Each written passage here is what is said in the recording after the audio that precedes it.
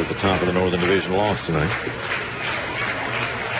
Here's the pitch, a swing and a high fly ball, deep left field, way back, and that one is out of here, a home run. Carlos Tocci, a home run, his second of the year, and he has put the BlueClaws right back in front with an 11th inning home run.